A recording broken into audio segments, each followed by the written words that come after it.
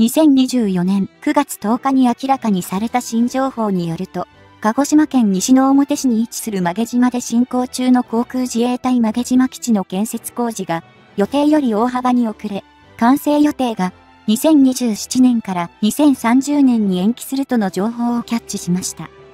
今回は着工から1年半で完成が3年遅延と発表で変化する対中政策を詳しく見ていきますね。台湾も高性能な潜水艦が収益間近になるし、あとはフィリピンとの連携強化ですね。も、が味方を輸出できればいいけどな。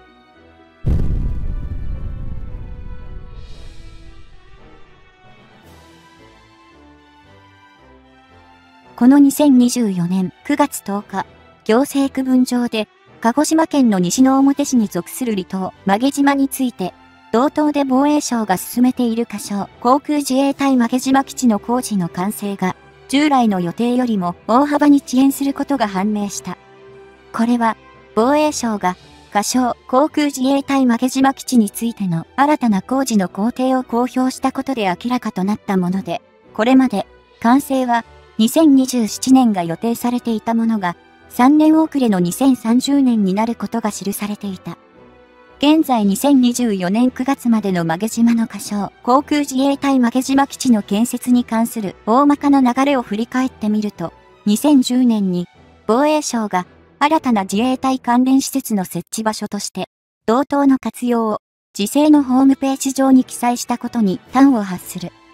翌2011年5月には、当時の北沢防衛大臣が、在日アメリカ軍の航空母艦艦載機による FCLP 空母艦載機着陸訓練の実施場所としても、曲げ島を検討対象としていると報じられ、日本国内で大きな注目を集める。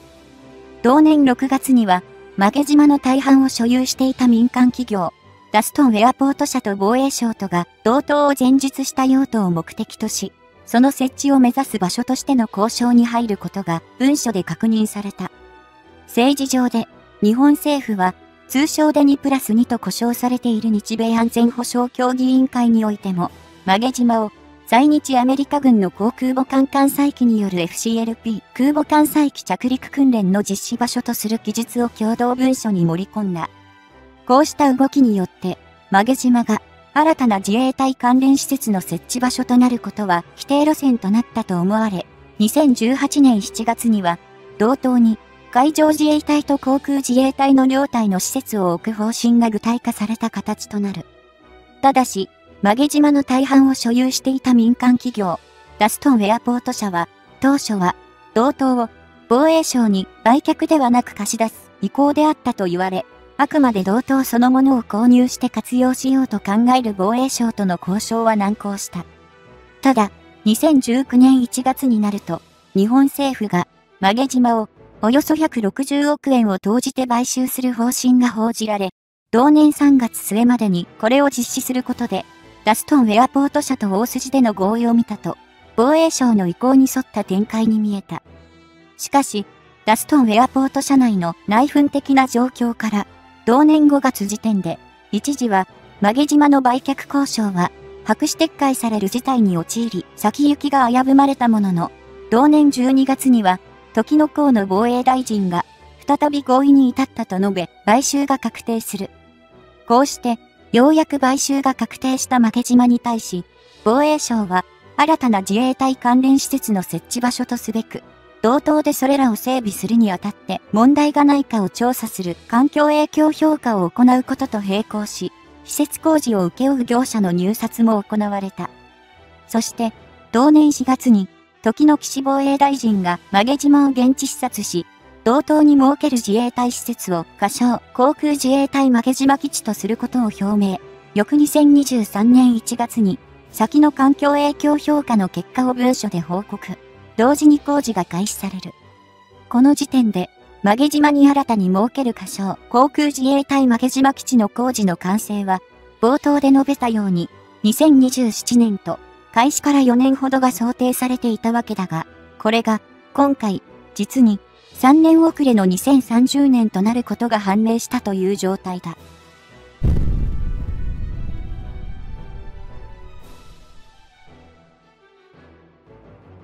曲島の仮称、航空自衛隊曲島基地の工事の完成が、2030年へと3年も当初の計画よりも遅延することとなった要因は、来年2025年に開催予定の大阪・関西万博等の大規模な建設プロジェクトの影響と見る向きが多い。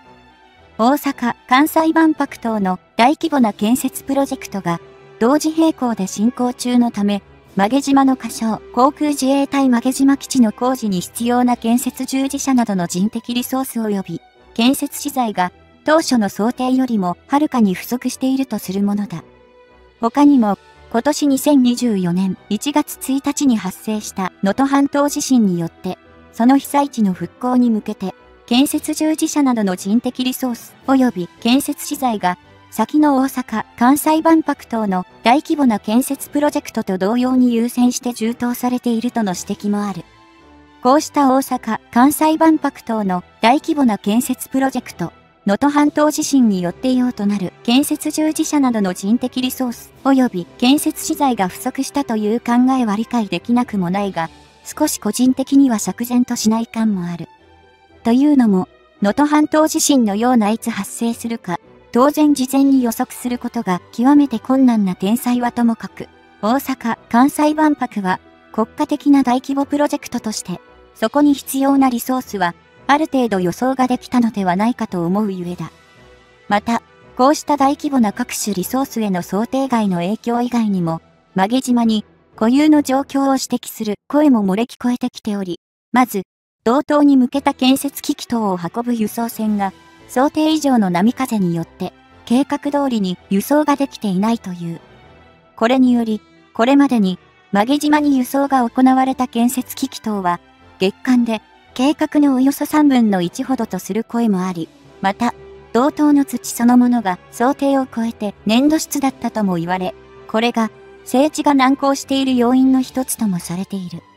これら波風による建設機器等の輸送の遅れにせよ、曲げ島の土が粘土質だったことによる整地の難航にせよ、素人目には、文書で報告までされた同等の環境影響評価で、事前にある程度の予想がつかなかったのかと思えてしまう。今回、防衛省側では、当初の予定、計画に対して、曲げ島に整備する滑走路を含む飛行場の施設の工事の完了がおよそ3年遅れとなること、飛行場に関連する施設や港湾関連の施設も2年から4年ほど遅延するとの見解を示した。ただし、そうした遅延の中にあっても、曲げ島に仮称航空自衛隊曲げ島基地が設置されることの最大の要因でもあった。在日アメリカ軍の航空母艦艦載機による FCLP 空母艦載機着陸訓練に使用する滑走路のみは2027年には完成させると説明されている。曲げ島には道東の北西から南東に向かって伸びるメインの滑走路と、北東から南西に向かって伸びる横風が強い場合に使用するとされている2本の滑走路が整備される計画だが、いずれも、それらだけは先に使用可能とするのだろう。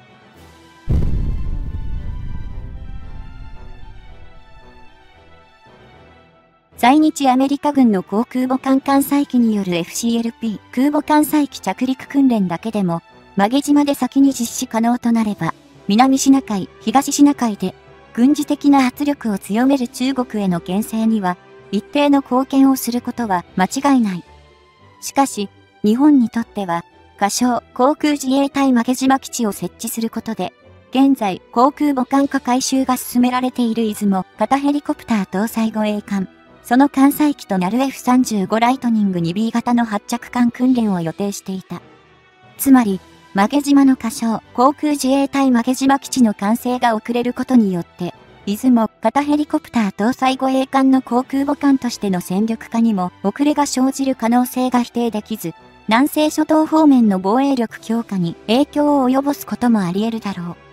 さて、そんな状況の曲げ島の他にも、防衛省は海上自衛隊の佐世保基地の整備にも、3年前の2021年1月に在日アメリカ軍から返還を受けた佐世保市の崎部東地の敷地を再整備する費用として、2025年防衛予算の概算要求に360億円を盛り込んだ。現在の海上自衛隊の佐世保基地には、出雲、型ヘリコプター搭載護衛艦の航空母艦のような大型艦艇が接岸できる機能がなく、今後は、こうした状況を変えて、やはり、南西諸島方面への防衛力の強化を図るものと推察される。